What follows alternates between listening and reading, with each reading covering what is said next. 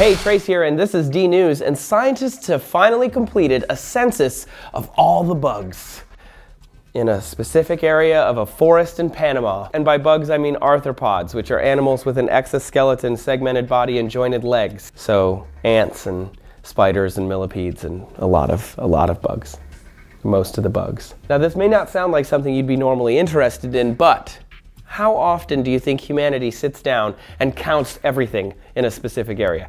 We never do this with bugs, never. We have never done anything like this. In the San Lorenzo Forest Reserve in Panama, 103 scientists with the help of the Smithsonian Institution counted every single bug in a section of the forest. They started way down in the soil and they went all the way up the vines, the bark, through the leaves, the shrubberies, into the very upper canopy, 130 feet in the air. Imagine counting all of the insects in a 13 story high rise.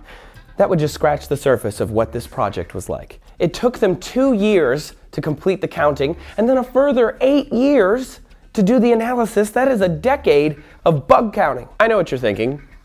What does this have to do with me, Trace? Why should I care about how many bugs there are in Panama? Well, let me tell you, we've known for a long time that of the animals you can see, insects were probably the most varied of any single group and likely the most numerous. But now we know, based on data, that insects outnumber plants 17 to 1. They outnumber humans 312 to 1. Be afraid. Be very afraid.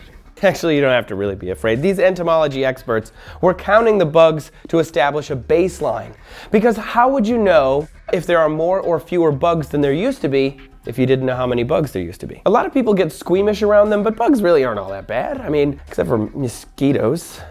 They suck. A majority of insects maintain and care for nature. They encourage decomposition, they pollinate flowers, they act as predators and parasites for herbivores. Not to mention, a lot of our medications and remedies come from nature. So the more bugs we can catalog, the higher the chances of finding a groundbreaking medication that could maybe cure cancer or help us regrow limbs or turn us into Spider-Man. All right, maybe not that last one. That's more of like a personal dream of mine, but you know, you know who knows? We'll never know if we don't look. More food for thought, insects are food for a lot of animals. Small mammals eat millions of insects a year, and even chimps rely on insects as a staple for vitamins and protein. Even humans used to eat bugs, and speaking of which, if you're interested in seeing another modern human eat some bugs, tune in later this week. Start a buzz down in the comments and tell us about your favorite bug or you know, your least favorite bug. I think mine might be the praying mantis.